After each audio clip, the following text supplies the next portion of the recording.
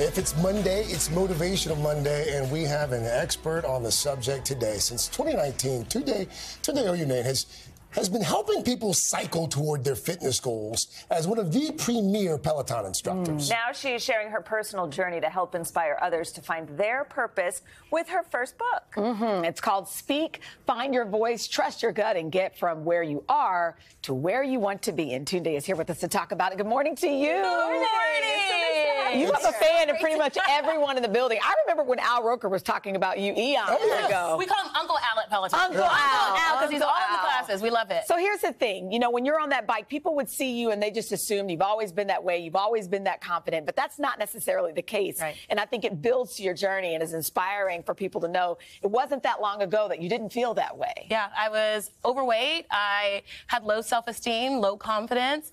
I was supposed to be a bridesmaid in one of my aunt's weddings. When was this? Like This was, I mean, this was years ago. I Wait, which one? probably- Hold on, let me was in high school. That's me in front. That was my mother behind. Okay. Um, and I was supposed to be a bridesmaid in my aunt's wedding. I couldn't fit the bridesmaid dress, so my mother had to sew two dresses together Wow. so that I could wear the same dress as everyone.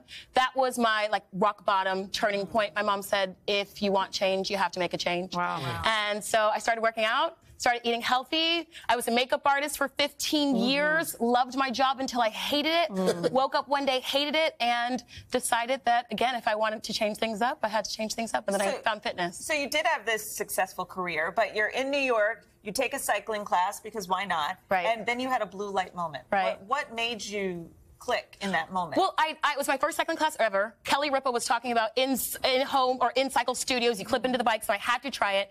I left that 45 minute class and I was floating, and I had what I call a blue light moment. Mm-hmm. It almost felt like a divine download. After my mm. first cycling class, I knew that I'd be teaching it. I knew that I'd be teaching it on the very biggest platform without even knowing what Peloton was. Wow. And so I could have dismissed that as just daydreaming, hallucination, whatever you want to call it. Um, but I took it as this opportunity. I think that the beauty of uncertainty is infinite possibility, and I took the chance. And, and a lot of folks probably don't realize. I mean, I, you're one of my favorite instructors. I mean, I'm like. I paid you $20 to say that on TV. Thank you.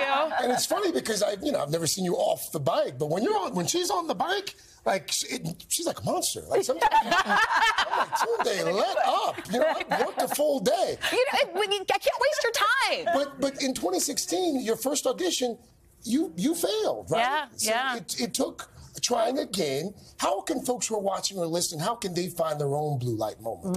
I mean, I think it's a, a matter of trusting that internal pulse. I think it's intuition. I think we all have it. We just learn to suppress it. At a very young age, you say, This is what I want to be and this is what I want to do.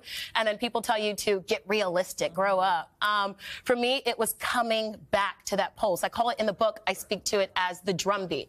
And so I follow the guide of the drumbeat. It's my internal compass. I love that. I was reading the book. I didn't realize this. You talk about, you know, it can be hard to push when adversity pops up after experiencing not only the loss of your brother, but then your parents. Right. What do you tell yourself and what did you tell yourself to remain motivated? There are a lot of people who are dealing with grief. Yeah. I lost my brother when he was 19 years old. Three years after that, I lost my dad. And then three years after that, I lost my mother. So I lost half of my immediate family within six years. Uh, I always say we don't get to choose what happens, but we do get to choose how we react. Today's a new day. I choose to be new in it. I live because they cannot. And mm. today's a new day, so I choose to be new in it. I've heard you actually say that on the bike. Yeah. What you just said Yeah. about not being able to choose what happens, but how you respond to it. Thank you. Yeah. And what is your advice for people who, you know, they set a goal for themselves and they want it immediately? You know, like they're doing everything to kind of get this instant gratification, but it- it takes a little bit longer Right. than immediate. Progress, not perfection. Give yourself attainable goals as it relates to fitness or anything uh, other.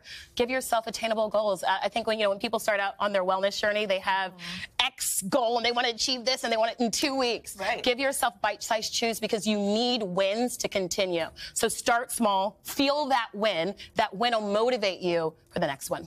Well, Also, what I love about Tunde on the bike yes. is she actually does like the whole, like she does the session Like with you. motivating? Some of the I'm other, sweating. Some, of, some of the other instructors, funny. I'm like, you know what? Maybe a little less talk, and a little more, a little more riding. Well, I mean, and, yeah, look, I happen to sweat a lot. I, I, just, I think it's my pore size or whatnot. also, we've got some Beyonce fans in the room. I don't use the Beyonce fan because I want the sweat dripping out of me. Uh, but yeah, yeah, I sweat a lot. It's so nice to have you. Well, Tunde, thank you so much. Again, it's when somebody is so you know, confident, it's great to know your journey. It's like we you. can too. Speak is out tomorrow, and you can also catch her tour with some special guests called Speak a Soul Care event. Good this. stuff. Congratulations. Thank you. Thank you. Hey, thanks for watching our YouTube channel. Find your favorite recipes, celebrity interviews, uplifting stories, shop our favorite deals, and so much more with the Today app. Download it now.